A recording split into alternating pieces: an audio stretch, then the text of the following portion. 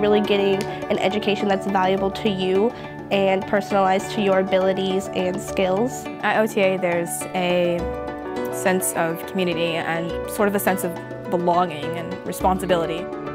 Kind of abandoned the old system of, of classroom raising your hand and have real in-depth conversations that are relevant and interesting.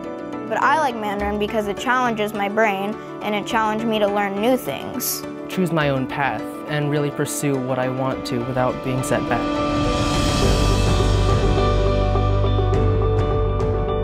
Is a passion and a level of commitment to kids and to service, which is one of the threads that goes through our school. We want to make certain that as faculty members, we model being caring, committed human beings and giving back to our community. My teachers are kind and they're caring and they show the IB traits while they're teaching because they kind of teach traits that most schools don't. Balanced, open-minded, knowledgeable, risk taker. And this kind of helps us to be better connected with the world around us to become better people. Critical thinking, so instead of like a yes or no question, it's like why yes, you know, why no. These things that you learn, they, they're not really things that you think about in your head so much logically as instinctively. It just sticks with you. OTA has a, a very unique educational environment. You know, with my class, only has uh, eight people in it, so that's very unique, um, very one-on-one -on -one personalized learning.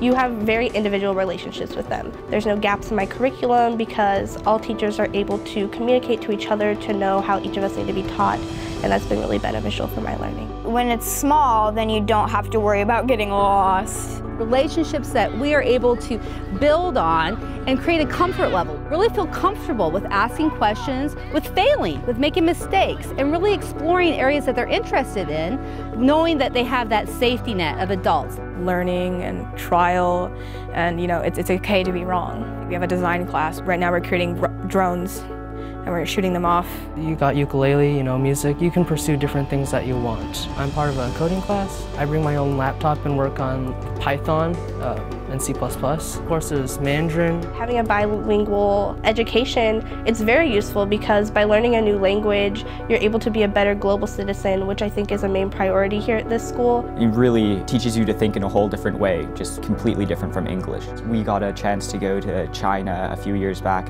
and it was really cool being able to talk with you know, people in their own language. I really like my school. Um,